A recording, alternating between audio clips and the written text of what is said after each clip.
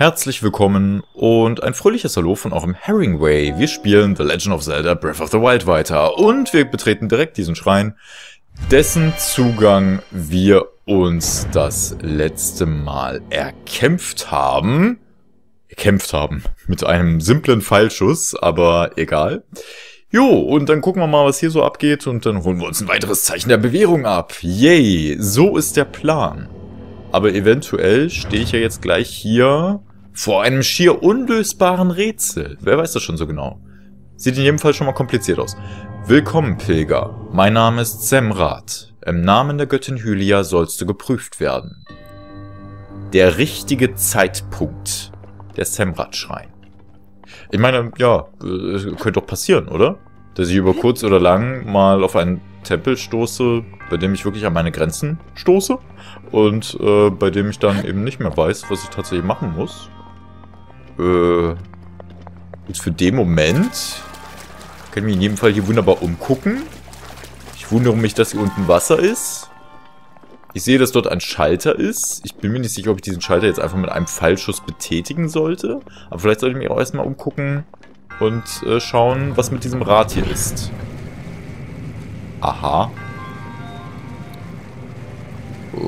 Okay. Das Ding bewegt sich jetzt ganz schön weit. Äh, das könnte jetzt gleich sehr wehtun. Achso, nee. Das bewegt sich ja jetzt unaufhaltsam. Nee, es hat sich jetzt... Nee, was heißt unaufhaltsam? Es hat sich jetzt einmal rundherum bewegt. Und der Wasserspiegel steigt an. Und das ist jetzt wichtig, weil... Weiß man noch nicht. Hm. Verstehe ich noch nicht. Aber ist okay. Gut, wir haben jetzt hier Wasser. Wasser ist gut. Wasser ist der Quell allen Lebens. Wasser ist, äh, ja. Wasser kann man immer mal wieder gebrauchen.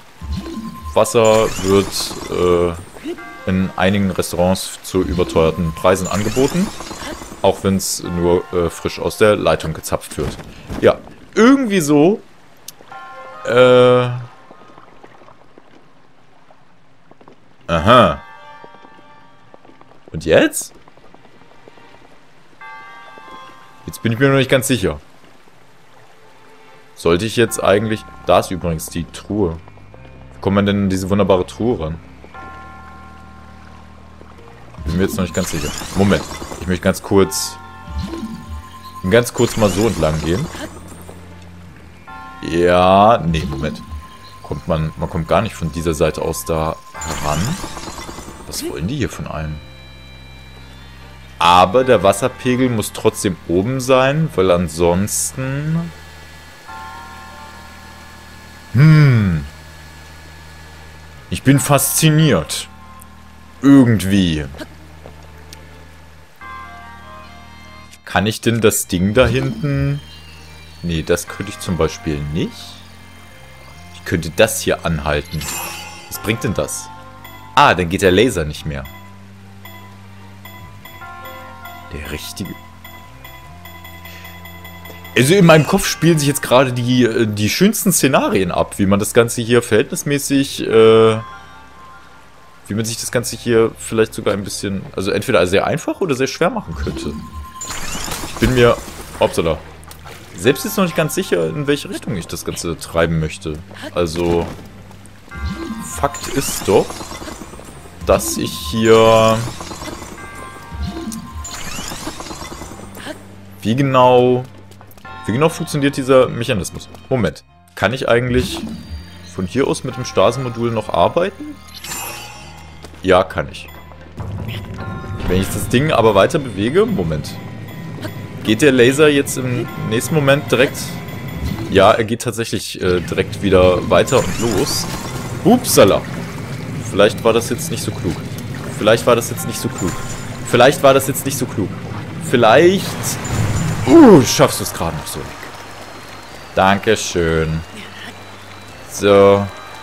Und bitte. Wirf. Nee, lege das Fass genau hier ab. Und öffne damit die Tür. So. Und jetzt? Ja, genau. Jetzt hast du nämlich das Problem, dass du nicht mehr in die Truhe rankommst. Arschkarte. ähm, wobei... Nee, das ist ja fies. Jetzt kann man ja nicht mal mit Pfeil und Bogen hier arbeiten. Also könnte man bestimmt schon, aber der Winkel ist extrem beschei... Oh, da hinten ist ja noch... Warum ist da hinten noch eine Truhe? Ah! Zu viel, was man im ersten Moment nicht sieht. Scheiße. Jetzt darf ich den ganzen Quatsch gleich nochmal machen. Gut. Ich frage mich jetzt nur... Hm. Irgendwie ist das Ganze unnötig kompliziert. Ein Opal. Okay, das ist nett. Weil... Weil, weil, weil... Ach so, kann ich eigentlich... Moment, Moment, Moment. Wenn hier sowieso die ganze Zeit äh, Wasser ist. Schaffe ich es dann auf die Art und Weise hier hoch? Nee, schaffe ich nicht. Ist dann zu hoch. Okay, das ist interessant. So. Also. Beginnen wir wieder von vorne. Ähm. Hm. Ich möchte jetzt mal folgendes tun. Einfach so machen. Blups. So. Das Wasser steigt wieder an. Problem ist jetzt allerdings in diesem Moment... Das Wasser ist zwar angestiegen, ja genau, aber die Tür ist jetzt halt wieder zu. Richtig. Genau deswegen. Okay, alles klar. Aber eigentlich... Oh. Von hier aus sieht man den ja echt nicht. Das ist ja doof. Blups. Ganz vergessen. okay, okay, okay, okay, Moment, Moment, Moment. Wie, wie kriege ich das denn hin? Wie zum Geier kriege ich das denn hin? Weil eigentlich wäre es ja jetzt gut, wenn ich dafür sorgen könnte, dass, dass sich das Ding hier permanent dreht oder so. Kann ich hier mit einer Bombe arbeiten? Nee. Tut sich jedenfalls nichts. Ich könnte aber... Hm. Ich kann ja auch immer nur eine Bombe. Das ist ja doof. Okay, okay, okay. Weil, äh, also in meiner, in meiner Gedankenwelt ähm, könnte ich theoretisch mir eine Rückversicherung bauen wenn ich... Mal gucken, ob das so funktioniert, wie ich mir das vorstelle. Kann ich die... Ich möchte bitte hier eine Bombe platzieren. Oh, guck mal. Holzpfeil, Holzpfeil. So schlecht sind die ja gar nicht geflogen. Ich möchte... Hier bitte... Eine Bombe platzieren. Wenn ich jetzt wieder das wechsle... Die Bombe bleibt trotzdem dort liegen. Okay. So, damit kann ich den Schalter dann nämlich wieder betätigen. Und jetzt... Ja, dann ist es jetzt nämlich simpel, weil jetzt muss ich dann einfach nur das wieder machen, was ich eben gerade schon gemacht habe. Okay. Cool. Also, dann lege ich mir jetzt hier schon mal meine Route zurecht. Damit ich hier so irgendwie rüberkomme. Zack, zack. Und zack. So. Oh, das ist ja... Ah, Heidewitzka, was man hier jetzt alles äh, gleichzeitig gebrauchen kann. Das, äh, das ist ja schön. Alles klar. Gut, dann als nächstes... Äh... Ne, muss ich das überhaupt mit Stase? Ich bin mir unsicher. Ich mach's einfach mal. So, okay. So, du bewegst dich jetzt, du bewegst dich jetzt, du bewegst dich jetzt. Und ich mach so, mach so, mach so. Schwebe hier herüber. Der Laser geht wieder an. Ja, genau. Er macht die Eissäulen kaputt. So, der Wasserstand senkt sich wieder. Das Fass landet auf dem Schalter. Und wenn ich jetzt mit meiner Vermutung richtig liege, kann ich jetzt so machen. Der Schalter wird wieder aktiviert. Das Wasser steigt wieder an und ich komme an meine Truhe. War das jetzt so richtig? Muss man das so machen? Kann man das so machen? Darf man das so machen? Also darf, ja, aber vielleicht, vielleicht habe ich es mir gerade unnötig kompliziert gemacht. Wahrscheinlich hätte ich das mit dem Stasis einfach nicht gebraucht. Und dafür gibt es nur einen großen Bumerang. Okay, jetzt bin ich ein bisschen enttäuscht. Geradezu ein bisschen unterwältigt, wenn ich das mal sagen darf. Ich meine, der große Bumerang ist okay, weil der macht ganz gut Schaden. Aber... Äh... Ach, ist okay, gut. Dann lass sie halt liegen, deine helle Bade. Und hallo, großer Bumerang. Ich wähle dich. Dann kämpfe ich halt jetzt ein bisschen damit. So, habe ich jetzt eigentlich... Ja, Truhe. So, bam. Schrein gelöst. Das war fast schon ein bisschen Arbeit. Du hast meine Prüfung gemeistert. Ohne Zweifel bist du der auserwählte Held. Im Namen der Göttin Hylia verleihe ich dir ein Zeichen der Bewährung. Der spielt nur mit drei Ringen rum. Die er aber trotzdem sehr kunstvoll hält. Das muss man ihm durchaus lassen. Schön. Danke für dieses wunderbare Zeichen der Bewährung. Blups. Hiermit ist mein Dienst erfüllt. Möge die Göttin Hylia dir beistehen. Ich glaube, das war jetzt mein 30. Schrein. Das bedeutet, ich bin... Ja, mit einem Viertel der Schreine durch. Also, jetzt kommen noch 90 andere die ich so nach und nach dann irgendwie mal besuchen müsste, aber na gut. Oh, und es ist es ist spät geworden im Lande. Im Lande Hyrule. Dü, dü, dü, dü, dü. Oh. Da hinten, das sieht sehr nach Leuchtstein aus. Da möchte ich irgendwie gerne hin. Deswegen gehe ich da auch gleich gerne hin. Und was hast du denn da für einen hübschen Bogen? Kann ich diesen hübschen Bogen vielleicht mal haben? Zeige ihn mir. Stachelbockbogen. Hey, warum habe ich jetzt schon wieder... Ernsthaft? Was? Ach, lass gut sein, Kollege. Lass einfach gut sein. Äh, ja, dann kann ich ja wohl den ollen Holzbogen loswerden. Soldatenbogen, Stachelbockbogen. Okay, die hatte ich. Hatte ich dann tatsächlich alles schon. Habe ich einen Holzbogen wirklich schon? Den hatte ich noch gar nicht fotografiert. Ich lump ich. Okay, so. Äh, was? Was war das? Das hört sich gerade ein bisschen seltsam an, aber egal. Schaff es auf die andere Seite? Doch, das schaffst du, Link, oder? Außer es kommt jetzt gleich ein sehr, sehr großer Fisch, der einmal Haps macht. Hm. Könnte sein, dass ich es mit meiner zusätzlichen Ausdauer... Das sieht jetzt gerade sehr komisch aus. Könnte es sein, dass ich es jetzt nur wegen meiner zusätzlichen Ausdauer schaffe? Weil ist das nicht dieser Fluss, von dem die Rede war? dass man den normalerweise nicht überqueren kann. Das hat doch irgendeiner mal angedeutet. Das sieht übrigens... Wow. Sehr intre...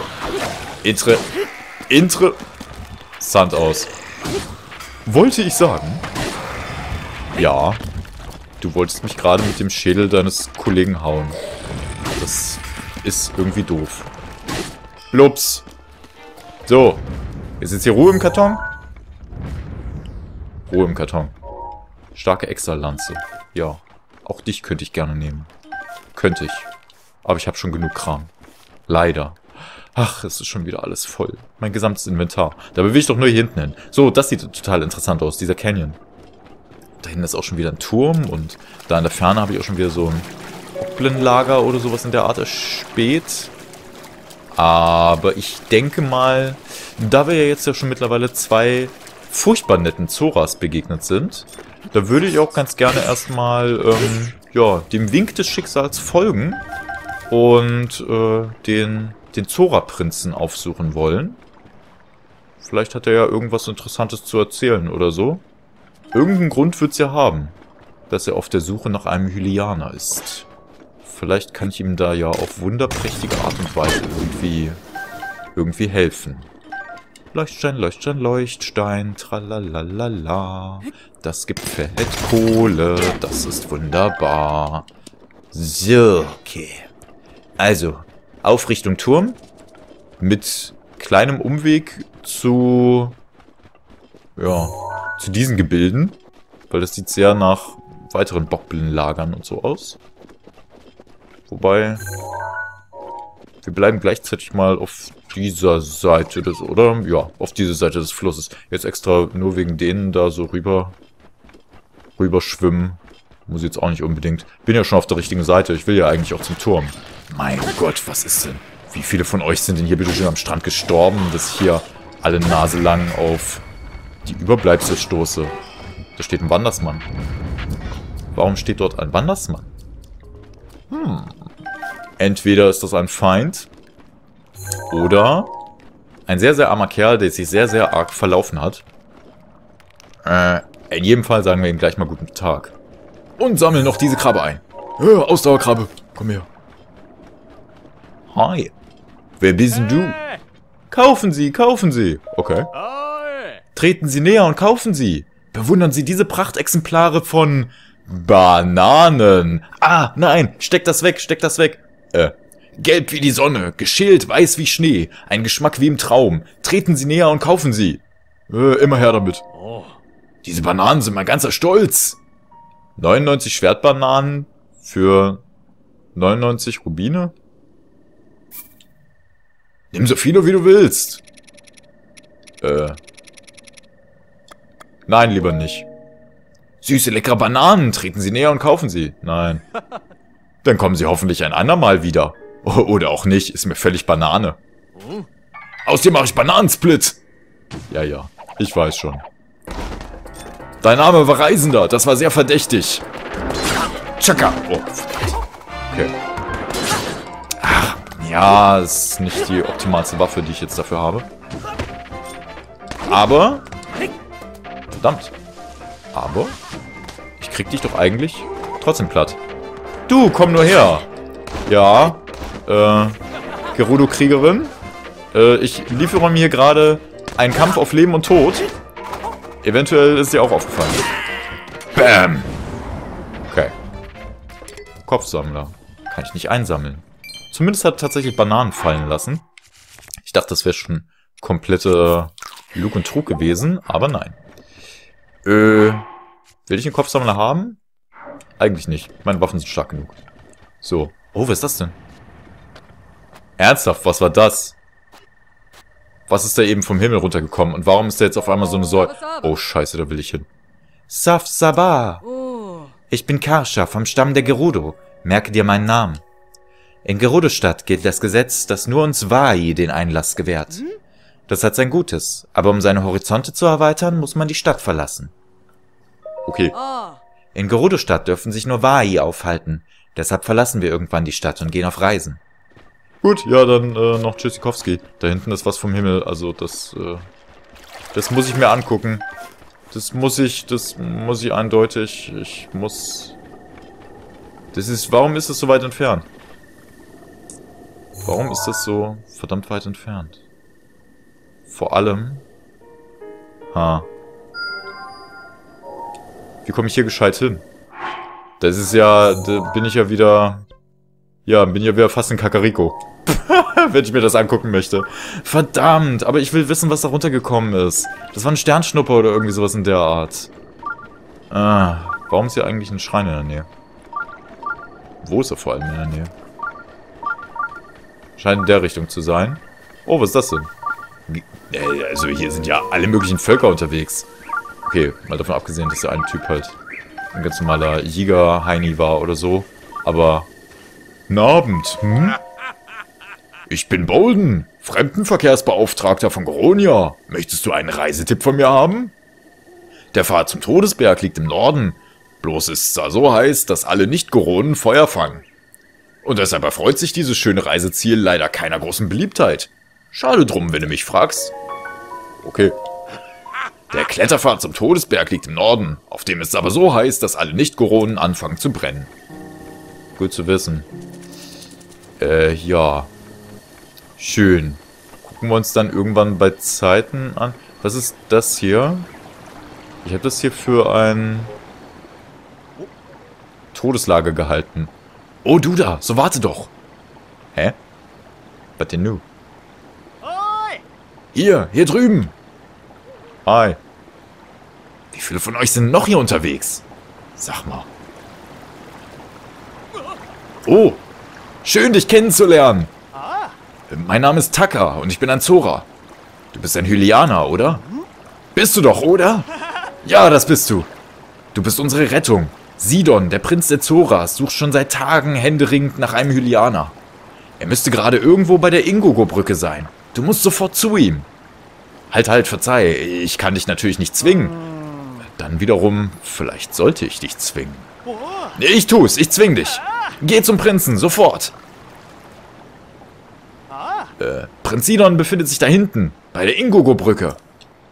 Folge dem Zora-Fluss stromaufwärts. Dann solltest du ihn finden. Okay. Hiliana, ich verlasse mich auf dich. Gut. Okay. Ich werde mich schon drum kümmern. Keine Sorge. Cheerio und so. Hier ist erstaunlich wenig los. Dafür, dass es alles so kunstvoll hier aufgebaut wurde. Was ist das hier? Ganz ernsthaft. Ja, gut. Da ist halt mal ein Exalfoss. Dö, dö. Dö, dö. Ja, ist ja gut. Hör auf zu, äh, zu tröten. Ist nervtötend ist das. So, upsala. Du hast irgendwas fallen gelassen. Ja. Dich machen wir mal so ka so kaputt. Da ist eine Truhe. Ähm Truhe. Verdammt. Es sind schon wieder überall zu viele Dinge, die ich am liebsten haben und untersuchen möchte. Wow. Hey, die Truhe hat es immer noch hier rauf geschafft. Also, egal. So, ein kleiner netter Opal. Äh, ich frage mich halt, ob es was bringt, wenn ich mich hier mit allen anlege. Ob hier irgendwo... Ob hier irgendwo eine wunderbare Truhe ist. Oder halt nicht. Ich fürchte fast... Ich fürchte fast nicht. Aber ich bin mir nicht ganz sicher. Hui. Plups. Ob die schnock die Ballons. So, und? Ah, Tentakel. Tentakel, Tentakel. Ah. Schau mal, ja, guck. Hier ist auch noch einer. Der legt sich einfach mal so schlafen. Und plups. Meine Rüstung ist echt toll. Ich war die ganze Zeit überlegen, ob ich sie vielleicht mal ablegen sollte, aber nö, das Schleichen macht eigentlich fast zu viel Spaß. Man hat so einen unsagbaren Vorteil. Ich meine, klar, im richtigen Kampf äh, ist das Ganze vermutlich eher nicht so geil. Weil man dann eben nicht so gut geschützt ist. Aber so für diese Wald- und Wiesengefechte ist das, ist das eigentlich ziemlich, ziemlich gut. So, was möchte ich jetzt als nächstes? Können natürlich auch ein bisschen... Oh, ein kleiner süßer Apfel. Ah, Apfel. Ups. Der ist ja nur dem ollen Apfel hinterher getaucht. Und schnappte sich im nächsten Moment noch die Sachen, die hier durch die Gegend treiben. Ach, na komm. Schnappen wir sie uns. Äh, wer weiß, wofür sie jetzt und auf Dauer noch gut sein mögen. Dupdi-dupdi-dup. Die Lichtsäule ist auch immer noch da. Also irgendwie ist das sehr verheißungsvoll, finde ich. Dass das die ganze Zeit auch noch so zu sehen ist und so. Die Frage ist nur, wie komme ich dort oben jetzt wieder gescheit hin? Von dieser Seite des Flusses aus. Weil ich schaff's doch bestimmt nicht, da jetzt wieder gescheit hochzuklettern. Fürchte ich. Fürchte ich gar sehr. Ich frage mich vor allem... Oh, ist es jetzt weg? Es könnte sein, dass es jetzt weg ist. Oh. Hi, Hinox. Andererseits, ich hatte mir, ich hatte mir ja die Markierung gesetzt. Also eigentlich würde ich schon wiederfinden. Aber es kann natürlich auch sein, dass es nur so lange da ist, wie der Lichtstrahl tatsächlich da zu sehen ist. Ach, was alles ein bisschen... Alles ein bisschen doof. Okay, so, Hinox. Ja, äh, wer, wer hätte es gedacht? So, Zora Großschwert. Zeig mir, was du kannst. Okay. Habe ich ein bisschen Schaden verursacht? Oh, ein bisschen Schaden habe ich verursacht. Upsala. Uhuhuhu. Okay. Verdammt. Äh. Verdammt. So, okay. Und komm her, ja. Eigentlich wollte ich die ganze Zeit einen aufgeladenen ähm, Angriff wagen. Hat aber nicht so hundertprozentig funktioniert. Oh, ein Holzbündel. Schön, dass es hier so herumlag. Ups. Ey, komm, das war doch eigentlich... In meiner Welt war das ein Treffer. Oh, ein Apfel. Nee, ein Eichel. Uh. Ups. Ey. Wow. Okay, da habe ich jetzt absolut nicht aufgepasst. Danke für diese Fee. Ach du Himmel. Das wäre jetzt das allererste Mal gewesen, dass mich so ein Hinox umgelegt hätte. Und auch noch ein ganz normaler. Nicht mal irgendwie ein großer, besonderer oder so. Uh. Ah. Was machst du eigentlich? Was machst du eigentlich in deiner Freizeit? Du, du Freizeitheld. Ja. Ups. So. Und... Tschüssikowski, Kollege. Wow. Das war echt doof. Das war richtig, richtig doof. Aber ist ja dann nochmal gut gegangen. So, irgendwas Neues dabei? Reiseschwert, Reisebogen, Soldaten, Zweihänder. Sieht irgendwie nicht so aus. Schade aber auch. Wenn man das alles hier schon sein eigen nennt. Äh, ja, dementsprechend lohnt es sich vermutlich auch nicht. Stachelbockbogen kann ich mal kurz wegwerfen. Gegen Reisebogen? Nee, nutzt absolut rein gar nichts der Reisebogen. Ist ja noch viel ist ja noch viel schwächer. Das ist ja irgendwie alles total unnötig. Gut. Sonst noch irgendwas hier los? Hört sich die ganze Zeit so an, als wäre hier irgendwas. Irgendetwas, was pulsiert oder irgendeine besondere Energie, die hier von irgendwas ausgeht, aber nö, das bilde ich mir scheinbar ein. Das war wirklich nur ein Wald- und Wiesen-Hinox, der keine größere gröbere Bewandtnis hat. Ja, äh, wir, wir, wir gehen dann trotzdem erstmal so ein ganz klein bisschen weiter. Ich bin auf vollkommen falschen Seite für den Turm, natürlich. Ich versuche, ich versuche mich lose hier so ein bisschen umzugucken. Ups, Blutlibelle. Ähm, in der Hoffnung, dass ich vielleicht doch nochmal äh, eine Möglichkeit habe, hier jetzt gescheit eben auf die andere Seite rüber zu kommen. Ich meine, könnte ja sein, dass ich auf die Art und Weise hm. Dann doch nochmal diesem Meteor oder so auf die Schliche kommen könnte, aber ja, guckt euch das an, das ist doch alles viel zu doof.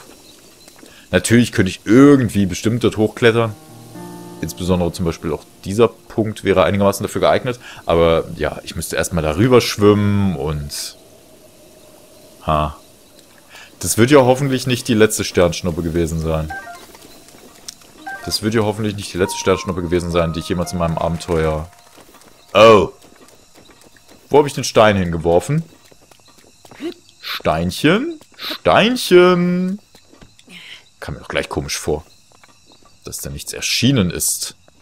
Dupsti, dupsti, dupsti, dups. Oh, mein kleiner Stein. Ich lege dich hier ab. Das finde ich gar fein. Ui, du hast mich entdeckt. Ja. Tschüssi. Tschüssi, kleiner Krog. Okay. Ja, gut, dann... Dann gehe ich halt mal wieder, ne? Und zwar dort herüber. Ich habe die Markierung ja gesetzt. Wenn ich irgendwann mal wieder Richtung Kakariko bin oder so, ich kann ja nochmal gucken gehen. Wahrscheinlich wird zu dem Zeitpunkt dann sowieso wieder weg sein und ich werde mich fragen, ja, wahrscheinlich, wenn ich dann tatsächlich mal dazu komme, mich da umzugucken, dann werde ich mich fragen, warum auch immer ich die Markierung dahin gesetzt habe. Weil das wird dann erst in 100 Parts oder so der Fall sein. Und dann werde ich mich sowieso nicht mehr dran erinnern können. Aber ist ja auch egal. Ups. Okay. Ja, das war jetzt... Das war semi-intelligent. Weil die Waffe natürlich viel zu schwach war. Ist ja egal. So. Ups, die Dups. Äh, was? Oh. Wo kamt ihr denn jetzt auf einmal her? Die drei Blobs von der Tankstelle.